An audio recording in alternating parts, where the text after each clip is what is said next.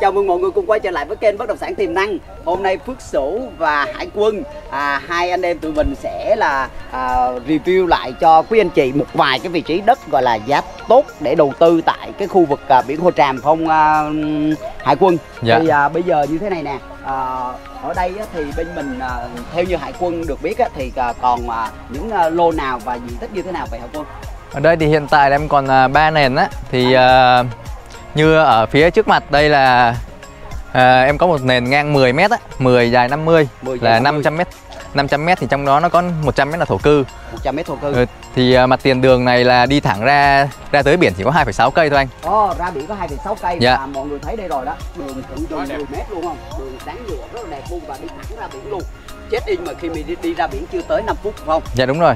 rất là tuyệt vời thì à, ở đây á, là khi nãy hải quân nói là diện tích bao nhiêu Diện tích 500 m anh. 500 mét vuông 500 m mà giá nó cũng chỉ chênh lệch từ 6 đến 7 triệu mét vuông thôi. à vậy hả Dạ. giá rất, là hấp dẫn phải không thì à, à, ở đây á thì à, mặt tiền đường lớn như vậy nè à, di chuyển biển gần nè Dạ. thì à, ngoài ra thì những cái tiện ích ở đây á, à, kết nối vùng á, thì theo như hải quân thì à, còn có gì hấp dẫn à, khi mà mình mua sở hữu lô đất này không À, hiện tại lô đất này nó đang nằm ở cái vị trí trung tâm luôn anh. Trung là nó nằm ở giữa trung tâm hành chính huyện vâng. Là thị à, thị trấn Thúc Bửu đó. rồi. À, với lại à, biển Hồ Tràm biển Hồ Tràm thì đây nằm ở giữa. Ờ, nên là mình kết nối từ lên thành trung tâm hành chính cũng dễ mà mình đi về khu du lịch biển cũng cũng gần cơ. À Đó. vậy hả vậy là sở hữu lô này á ngoài cái việc gọi là xây để ở nè đầu tư Dạ. mình còn mình muốn đầu tư à, sớm và có lợi nhuận liền thì mình có thể làm những cái khu à, nghỉ dưỡng Dạ, homestay rồi. nè Ờ, mình có thể làm những khách sạn mình cho thuê ngay bởi vì ở đây là mặt tiền đường lớn thì xây dựng thoải mái phải không à, quân dạ thì à, ừm, theo quân nghĩ thì tại khu vực này thời điểm này á, thì à, à, có có phải là cái cơ hội đầu tư tốt hay không và những cái tiềm năng phát triển của khu vực này như thế nào thì hiện tại thì ờ, như anh đã đã biết rồi với em qua với anh đã đi xem tham quan một vòng cái đường ven biển á thì À. rất có rất là nhiều cái dự án. Và truyền thông thì em nghĩ là chắc mọi người cũng ai cũng biết hết rồi. À.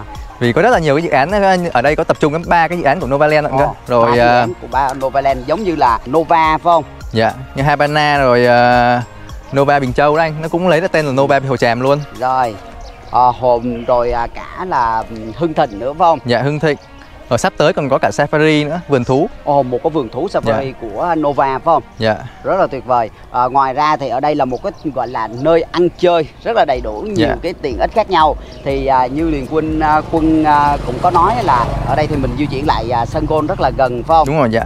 Rồi ngoài chỗ sân golf là có một cái khu tổ hợp à, giải trí nghỉ ngơi casino phải không? Dạ. Rồi à, từ đây thì mình à, đến một cái trung tâm của thị trấn à, à, Phước Bửu là một cái nơi à, trung tâm cũng rất là đông đúc và Dạ. có đầy đủ tất cả các loại món ăn nè à, hải sản nè. À, nói nhắc đến hải sản thì à, nghe đâu à, chợ Hồ Tràm có hải sản tốt giá tốt và rất là ngon và tươi phải không?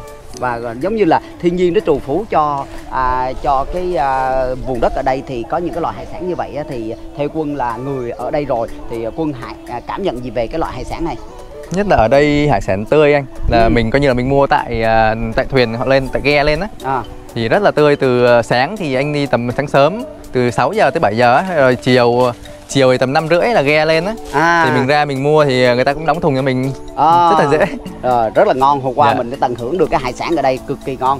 Ngoài à, ra thì ở đây có những cái loại cây ăn trái mà theo như phước sự thấy á, là rất là nhiều trái và ngon thì Dạ. à, à, hải quân có thể là liệt kê cho mọi người à, biết một số cái loại cây ăn trái mà ở đây mà có thể là à, thu lợi à, cao. Ở đây thì chủ yếu là họ trồng nhãn là nhiều anh nhãn, Nhãn. với lại à, mít ừ, vị nhãn ở đây như thế nào và nó là loại nhãn gì là hải quân biết hay không?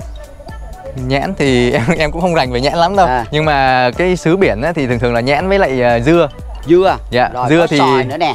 Đúng rồi xoài. Thấy rất là nhiều xoài luôn. Rồi à, ngoài ra là có những cái vườn một số chỗ vườn thanh long nè rồi à, có những cái vườn à, chanh dây nè. Đúng rồi anh rồi à, Rất nhiều. rất là nhiều loại trái cây. Nó cũng là phù hợp một loại một loại à, đất cát pha thịt phải không? Nó phù hợp với lại có à, rất là nhiều cái loại cây ăn trái. Và ở đây có một cái điều tuyệt vời đó là cái không gian không khí ở đây rất là mát. Có lực rất là nhiều loại cây cối và có những cái rừng nguyên sinh. Theo như ừm, hải quân biết thì ở đây có những cánh rừng nào và nó có những cái loại cây ờ, và gọi là nguyên sinh như thế nào ạ ở đây thì có hiện là mình đang đứng cách cái rừng bảo tồn à, nguyên sinh ấy là mấy trăm mét thôi anh. Ờ mấy trăm mét. Dạ hiện tại là có 300 mét thôi còn à, phía trước mặt mình đây là đi đi ờ, muốn đi ra tới biển ấy là mình đi xuyên qua cái rừng phòng hộ. À, qua rừng phòng hộ luôn. Dạ là đi xuyên qua rừng phòng hộ ấy rất là đẹp. À thành thử vậy là là ở đây có biển nè có Dạ. rừng nè nó điều tiết những cái cái cái cái, cái không khí ở đây. Nên thường thường gọi là không khí ở đây nó nhiệt độ ở đây nó thấp hơn những cái tỉnh lân cận vài vài vài độ phải không? Dạ, nên là rồi. thường xuyên mát mát mẻ quanh năm là nên là à, du lịch cũng rất là tuyệt vời. Và một cái ở đây nữa đó là ít gió bão. Dạ đúng rồi phải không? Thì à, theo như điền quân ở đây cũng à, cũng cũng khá lâu rồi á. Thì ở đây có những gần đây thì có cái trường hợp bão lũ hay là như thế nào à, chưa nhiều không? Hiện tại thì từ lúc em ở đây là chưa có luôn anh mà theo dân địa phương nói thì ở đây nó cũng ít khi gặp cái trường hợp mà bão lắm. À. Dạ.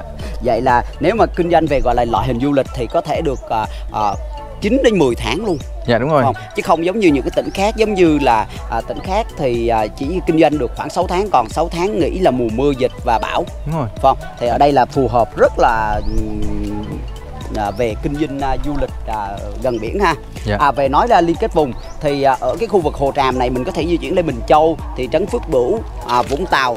Đúng rồi ở anh rất là gần. nhiều cái, cái resort à, 5 sao à, những cái địa điểm check in rất là đẹp giống như khi nãy là mình đang nói cái đồi ruộng phải Dạ, không? đúng rồi. rồi à, đồi ruộng là một cái nơi gọi là check in à, nghỉ ngơi giải trí và một gọi là gần gũi thiên nhiên nhất luôn. À, đồi ruộng thì nói ra đồi ruộng thì rất là đẹp về à, mình có thể hòa mình với lại cái việc cái là à, à, xạ tưới cây rồi à, là chăm sóc những cái à, à, đám ruộng phải không? Thì bây giờ Điền Quân có thể là à, nói về cái kết nối hạ tầng của từ khu vực này đi về Sài Gòn thì khoảng mất bao lâu? Hiện tại thì từ ờ, khu vực hồ tràm mà đi về đến sài gòn khoảng 2 tiếng anh. Hai tiếng. Dạ nói chung là rất là gần thôi À, Mấy nữa thì, lịch hiện tại- mình, mình có thể đi về trong ngày luôn phải dạ không? đi về trong ngày luôn đấy À đi về trong ngày luôn thì như vậy thì nó quá tuyệt vời phải không? Thì à, mình có thể xuống à, Vũng Tàu, à, xuống à, Hồ Tràm này nè, mình à, check in ăn uống, à, thích nghỉ lại nghỉ lại còn không chiều tối là mình có thể về Dạ, rồi. À, rất là gần, di chuyển rất là gần và sắp tới thì còn có những cái à, à, cơ sở hạ tầng như là đường cao tốc hoặc đường ven biển à, từ cái hướng à, thành phố Hồ Chí Minh đi xuống nữa Dạ, đúng thì rồi. nó sẽ liên kết rất là nhiều và gần đây thì có những cái thông tin là có cái sân bay sẽ ở gần đây sân bay Lộc An phải không? dạ cái Nếu sân mà bay này là vừa được chấp thuận luôn anh À Dạ. À, vậy hả? Như vậy á, thì nếu mà phát triển được cái sân bay và có một cái sân bay di chuyển gần tại cái hồ tràm này nữa thì về cái vấn đề du lịch nghỉ dưỡng và nói đến cái vấn đề ở đây là đầu tư đất đai sinh lợi nhuận thì rất là tuyệt vời phải không?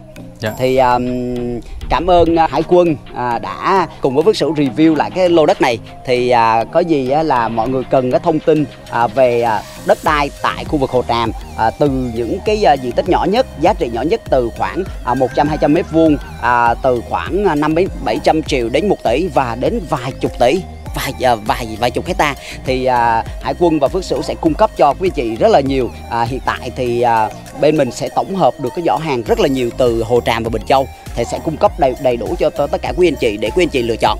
Rồi à, một lần nữa xin chào và hẹn gặp lại mọi người ở nhiều video sau. Xin cảm ơn và hẹn gặp lại.